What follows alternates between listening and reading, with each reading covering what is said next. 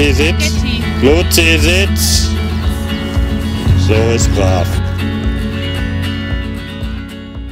Seit einiger Zeit begleitet und bereichert ein Aussieht Dreierrudel unser Leben. Ich muss gestehen, es muss uns der Teufel geritten haben, als wir auf die Idee kamen, mit unserer Australian Shepherd Hündin Fly und dem Harzer Fuchs Jake von Freunden ein eigenes Welpenprojekt durchzuziehen und die erwünschte Hundeaufstockung selbst heranzuzüchten. Denn nun begleiten uns drei dynamische, lauffreudige, agile, intelligente Hütehunde, die tagtäglich bei Wind und Wetter, Sommers wie Winters, bei Kälte, Schnee, Regen, Sonne und Hitze angemessen beschäftigt, ernährt, gepflegt und erzogen werden müssen.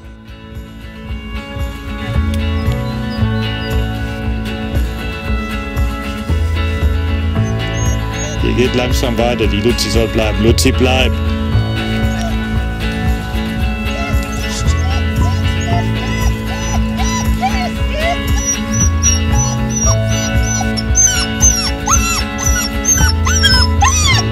Bleib. Bleib, Luzi. Meine Frau Astrid und meine Tochter Samira sowie ich üben heute mit unseren drei Hunden hier die zentralen Anweisungen Sitz, bleib, komm. Das ist natürlich einfach und alle unsere drei Hunde haben solche Anweisungen natürlich längst drauf, solange wir mit unseren Hunden allein unterwegs sind. Doch äh, zu dritt gemeinsam im Menschen- und Hunderudel ändert sich die Situation sofort. Drei verschiedene Bezugspersonen, drei verschiedene Alpha-Tiere geben Befehle an drei verschiedene Hunde und die drei verschiedenen Hunde sollen sie nicht im Rudel, sondern einzeln ausführen. Und da kam in jüngster Zeit, besonders bei unserer neuen Hundesportart Dog Scooting, immer mal wieder nicht zwingend Freude auf. Gerade beim Dog-Scooting, sprich sich mit Rollern oder Mountainbikes von den Hunden ziehen lassen, ist es sehr wichtig, wenn man gemeinsam fährt, dass jeder Hund nur das macht, was sein Herrchen, sein Chef, seine Chefin auch genau sagt. Wir müssen uns dringend angewöhnen, unsere Hunde beim Namen zu nennen, wenn wir gezielt genau auf einen Hund Anweisungen geben wollen. Luzi, sitz. Bleib. Wenn ich beim Dogscootern meiner Hündin Luzi die Anweisung gebe, Luzi, lauf, dann darf natürlich nur Luzi loslaufen und nicht die zwei anderen Hunde von meiner Frau und meiner Tochter Samira auch. Mm, Aber das hinzubekommen ist eine äußerst verdienstvolle Aufgabe. Aber wie man sieht, wir arbeiteten dran.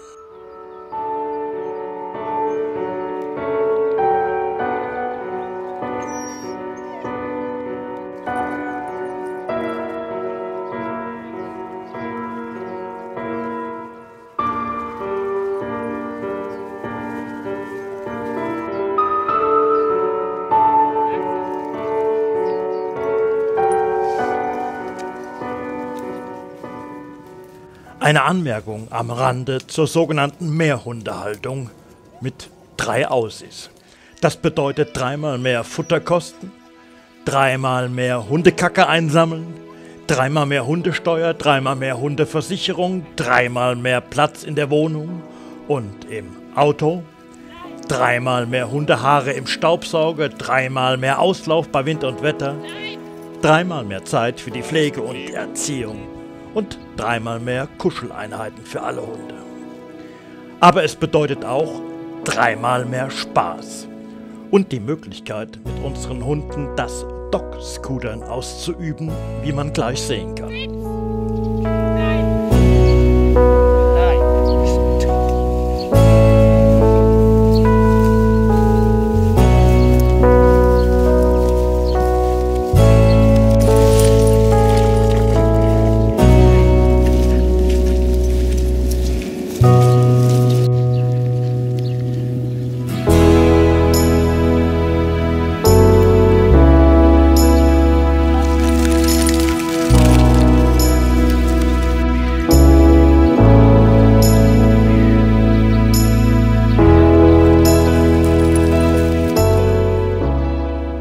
Die letzten Monate und Wochen haben gezeigt, dass wir unsere drei Aussies nicht einfach draußen in der Pampa freilaufen lassen können. Denn es sind nicht nur Hütehunde, sondern sie haben wie alle anderen auch den Jagdtrieb in sich und es besteht immer wieder akute Gefahr, dass sie mit dem Wildern beginnen.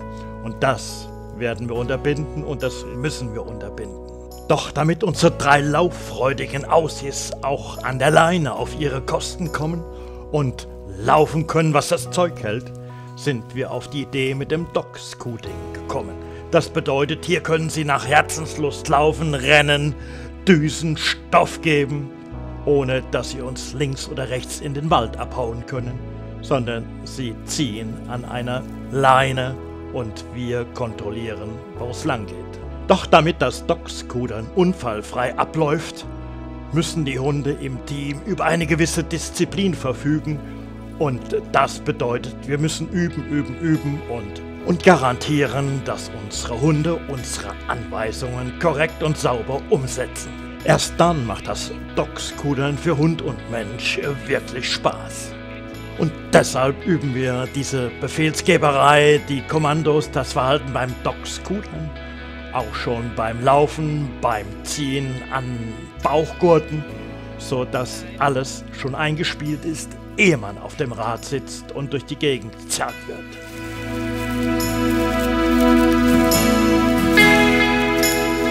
Spaghetti, bleib!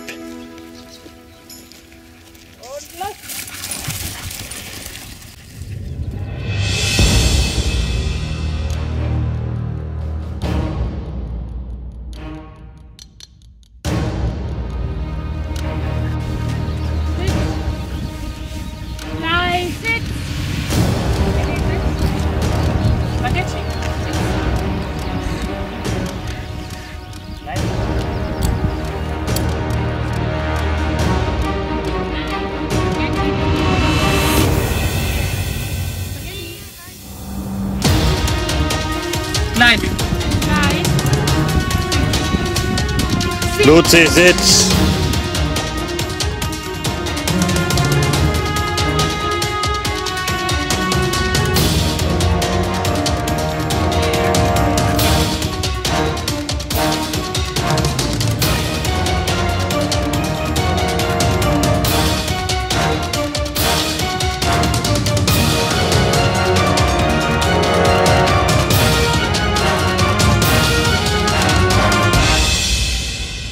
Wie man hier sieht, führt dauernde Übung ansatzweise zum Erfolg.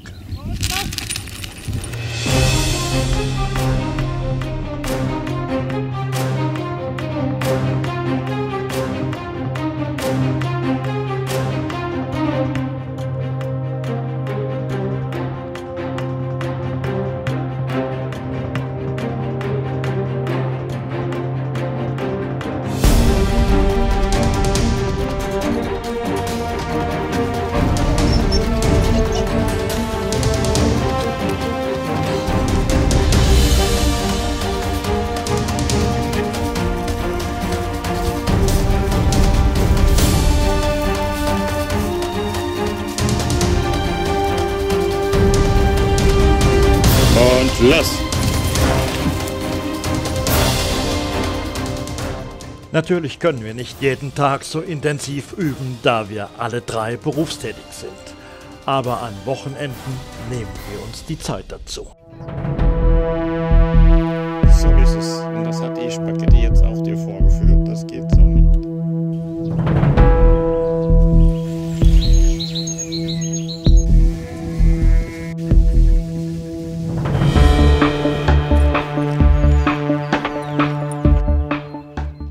Dem morgendlichen Üben rund um unseren Wohnort Geiselbach starten wir am Mittag per Auto und drei Fahrrädern zu einem Rundkurs, der uns besonders geeignet zum Üben erscheint.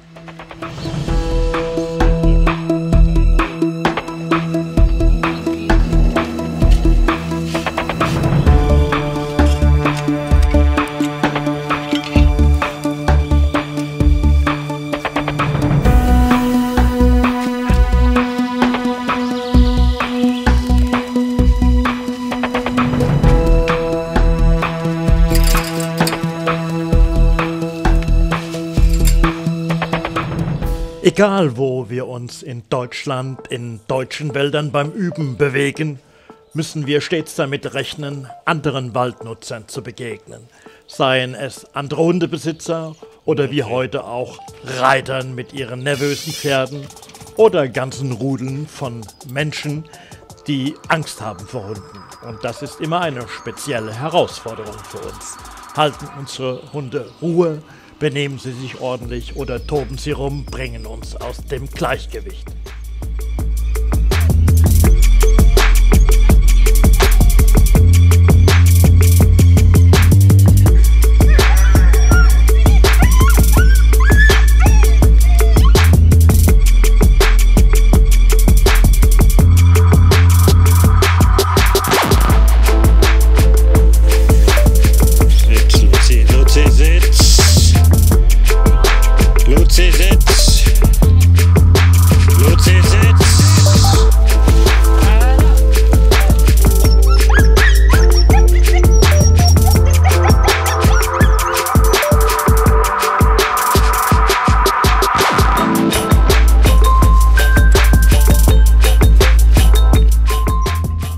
Anfang eines Übungslaufs gebärden sich unsere drei Aussies äh, wie verrückt und wild, sie wollen einfach los. Doch wenn sie sich schon ein bisschen müde gelaufen haben, dann wird die Disziplin besser. Dann können wir auch ab und zu mal einfach zu Fuß gehen, um Sitz. die Situation zu entspannen und unsere Hunde nicht zu überanstrengen. So, bleib. Bleib.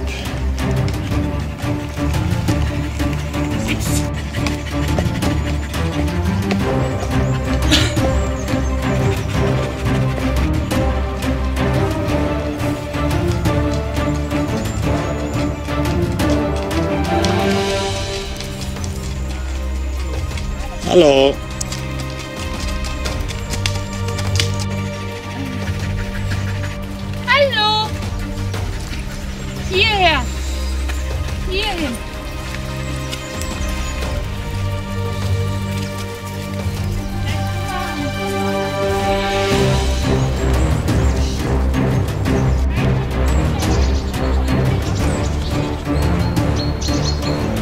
Fahrt los, ihr fahrt los. Ich sage nichts. Luzi, bleib.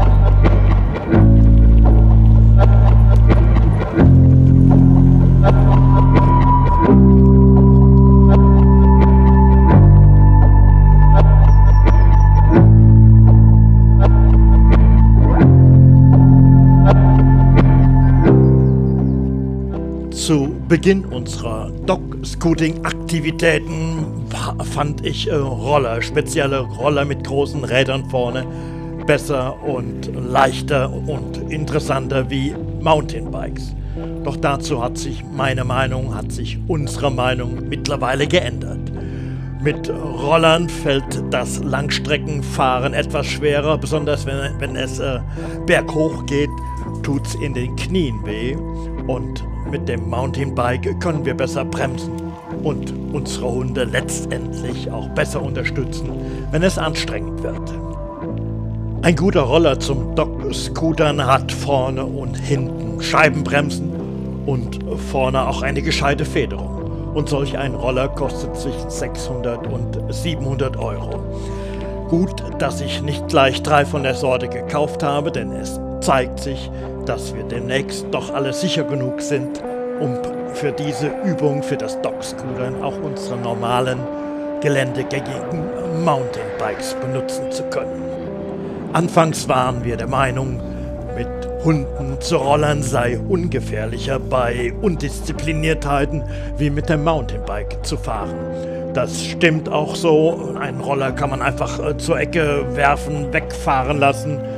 Umkippen lassen, was mit dem Fahrrad meistens dazu führt, dass man selbst auf der Schnauze liegt. Aber mittlerweile hören unsere Hunde so gut und wir haben die Sache so gut drauf, dass wir uns auch mit unseren Mountainbikes gut und sicher fühlen.